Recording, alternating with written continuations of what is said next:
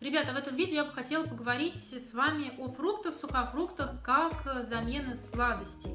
А, я вам уже немножечко говорила о том, что фрукты это в большей части простой углевод, но простой углевод, являющийся сахаром природным, плюс клетчатка, да, чтобы продлить насыщение по формуле нашей насыщения, можно добавить растительный белок в орешках плюс жиры. Если говорить о сухофруктах, сухофрукт это более концентрированный фрукт, то есть фрукт минус вода. 100 грамм любого сухофрукта будут калорийнее 100 граммов любого аналогичного фрукта. По тому, как нормировать сухофрукты уже говорила, да, по правилу ладошек, смотрите 3-5 примерно порций в день, Э, и смотрите, сколько аналогичных фруктов у вас вмещается на ладошке.